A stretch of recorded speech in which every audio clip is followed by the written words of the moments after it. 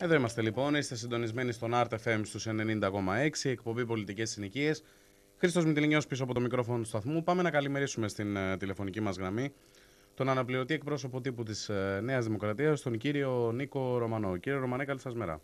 Καλημέρα κύριε Μητυλινία, καλημέρα στους ακροατές μας. Θέλω να ξεκινήσουμε λίγο τη συζήτησή μας από το ότι πλέον η τροπολογία για την μετονομασία της πρώην Ιουγκοσλαβικής Δημοκρατίας της Μακεδονίας πέρασε από τα Σκόπια, σε Βόρεια Μακεδονία η μετονομασία και θέλω να σας ρωτήσω τι περιθώρια έχει πλέον η ελληνική πλευρά να σταματήσει αυτή τη συμφωνία και να μην δοθεί στους uh, Σκοπιανούς το δικαίωμα να αποκαλούνται Μακεδόνες; Ε, το λέμε πάρα πολύ καιρό κύριε Μητυλινία. Δυστυχώς τα περιθώρια λιγοστεύουν μετά και από το σημερινό τέλος πάντων αυτό που αναφέρατε λιγοστεύουν ακόμα περισσότερο. Θα επακολουθήσουν και οι υπόλοιπες τροπολογίες.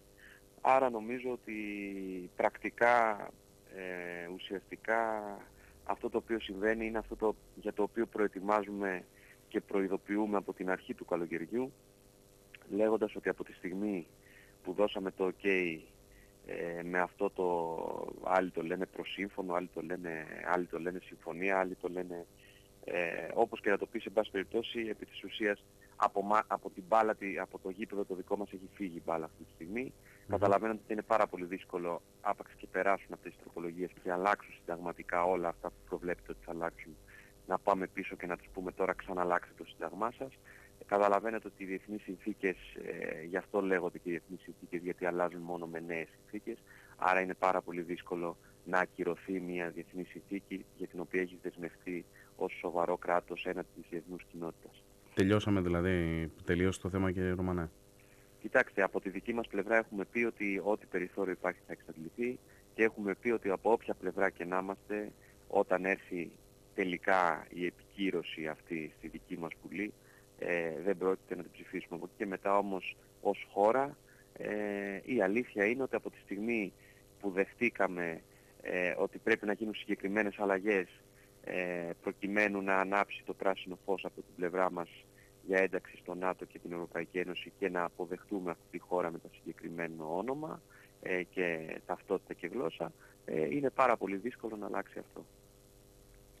Μάλιστα. Και προφανώς ε, εννοείται ότι εμένουμε στη θέση μας και γι' αυτό λέμε από τότε ότι είναι άφλια αυτή η συμφωνία. Ένας βασικός λόγος για τον οποίο λέμε ότι είναι άφλια αυτή η συμφωνία είναι ακριβώς αυτός που σας περιέγραψα, πέραν φυσικά των χαρακτηριστικών της που έχουν να κάνουν με την παράδοση γλώσσας, ταυτότητας και πραγμάτων που ποτέ πριν στο παρελθόν δεν είχε δεχτεί καμία άλλη κυβέρνηση και δεν είχε μπει στο τραπέζι, ε, δεν είχε δεχτεί να μπει στο τραπέζι γιατί οι γείτονές μας το ζήταγαν χρόνια.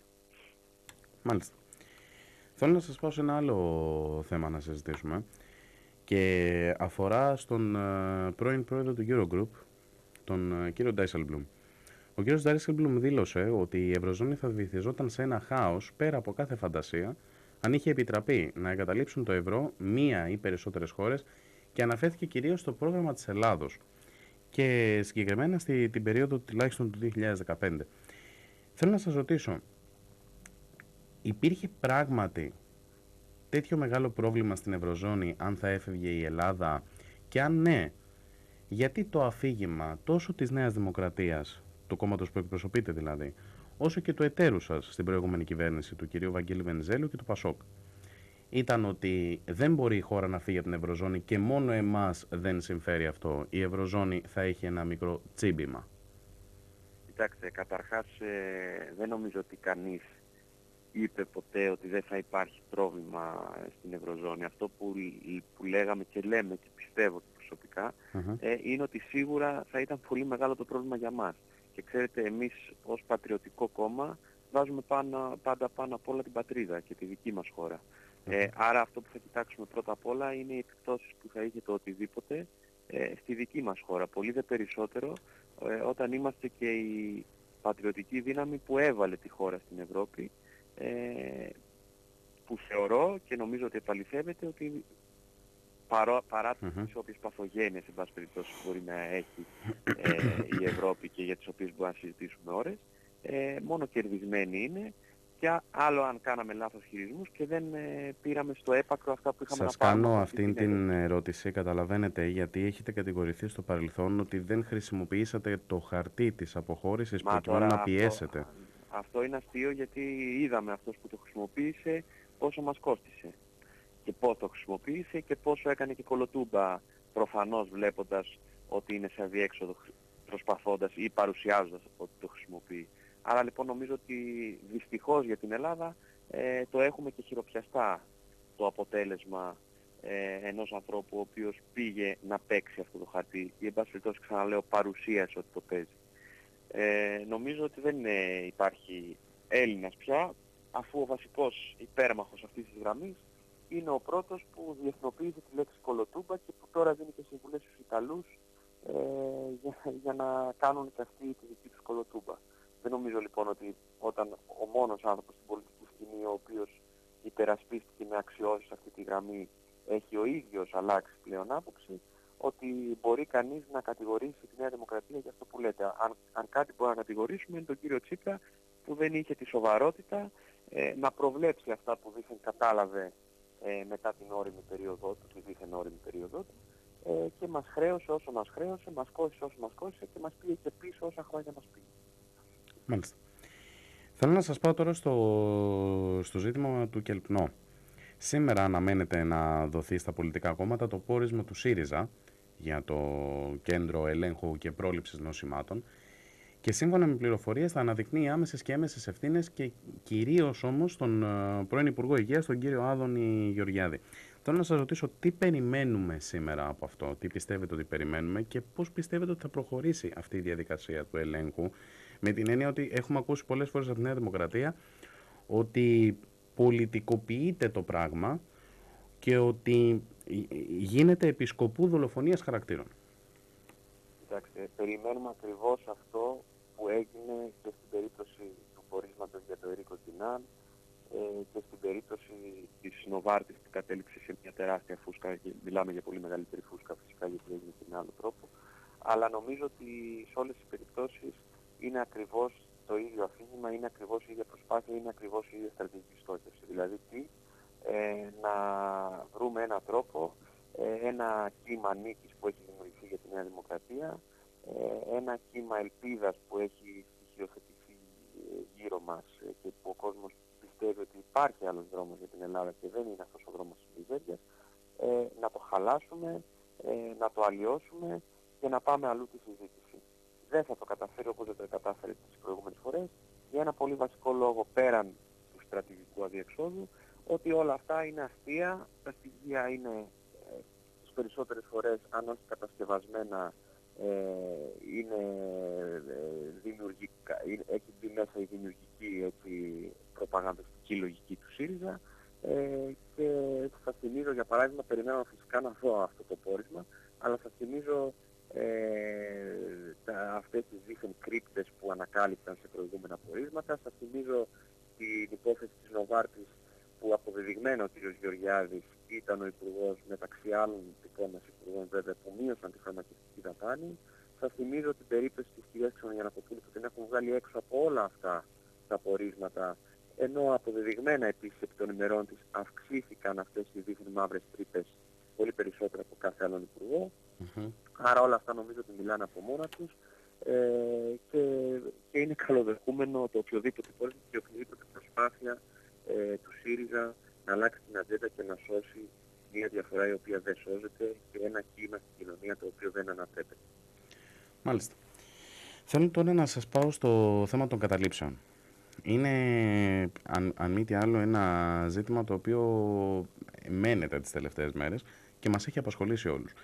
Η, ο πρόεδρος της παράταξης, ο Κυριάκος ε, Μητσοτάκης, δήλωσε πως είναι απέναντι σε κάθε μορφή ε, κατάληψης Παρά τα αυτά ακούμε την Νέα Δημοκρατία η οποία με κάποιον τρόπο προσπαθεί να πει ότι αυτά τα παιδιά δεν ανήκουν όλα στη Χρυσή Αυγή τέλος πάντων. Η ερώτησή μου για να καταλήξω είναι η εξής ότι δεν ε, είμαστε απέναντι στην κατάληψη αλλά μόνο όταν γίνεται από την πλευρά των από εκεί, των αριστερών θέλω να πω. Δηλαδή κατηγορήστε ότι κάνετε ακριβώς αυτό που κάνει ο ΣΥΡΙΖΑ ότι ο ΣΥΡΙΖΑ υπερασπίζεται τις δικές του καταλήψεις και είναι απέναντι στις καταλήψεις της Μακεδονίας. Εσείς είστε υπέρ της κατάληψης της Μακεδονίας και απέναντι στις άλλες; Λοιπόν, καταρχάς πάμε να δούμε πώς ξεκίνησε αυτό το θέμα. Ξεκίνησε πράγματι από μια προσπάθεια του ΣΥΡΙΖΑ ε, για να εργαλοποιήσει ακόμα και αυτό ε, στην ε, ευρύτερη προσπάθειά του, την οποία εντάσσεται και αυτό που συζητήσαμε πριν, να αλλάζει την ατζέντα, να ιδεολογικοποιεί τα πάντα βάζοντας δικαστικά διλήμματα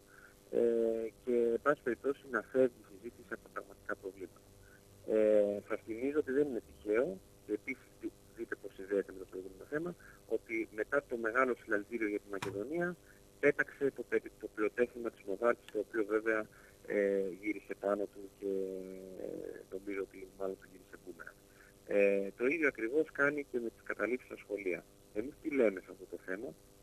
Λέμε ξεκάθαρα ότι προφανώς είναι δικαίωμα και προσωπικά το θεωρώ το θετικό να διαδηλώνουν τα παιδιά, τα νέα παιδιά ε, κατά μια άθλια συμφωνία την οποία εμείς ως κόμμα χρησιμοποίησαμε όλα τα μέσα που είχαμε για να αποτρέψουμε. Άρα προφανώς δεν μπορούμε να πούμε ότι είναι αρνητικό αυτό. Από εκεί πέρα όμως ως μορφή ε, έτσι πάλι να το πω έτσι αριστερίστικα ε, η κατάληψη είναι κάτι το οποίο μας βρίσκει αντίθετος γιατί μας, γιατί μας βρίσκουν αντίθετος στα κλειστά σχολεία. Γιατί είμαστε ένα κόμμα που είμαστε υπέρ της ανοιχτής κοινωνίας, των ανοιχτών σχολείων, των ανοιχτών μυαλών.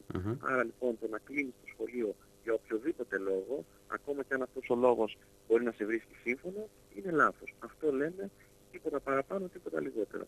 Και νομίζω ότι είναι πάρα πολύ ξεκάθαρο ότι ακριβώς επειδή κάνοντας αυτό το πράγμα βρίσκει ο ΣΥΡΙΖΑ ε, έτσι, την ε, ευκαιρία ε, να το εργαλειοποιήσει και να το χρησιμοποιήσει προσπαθώντας τελικά να δώσει ψήφους στη Χρυσή Αυγή, γιατί για να είμαστε ξεκάθαροι αυτό πάει να κάνει, πάει να τσουβαλιάσει αυτά τα παιδιά τα οποία προφανώς δεν έχουν καμία σχέση με τη Χρυσή Αυγή, όπως είπατε πολύ σωστά στην πλειονότητα τους τουλάχιστον.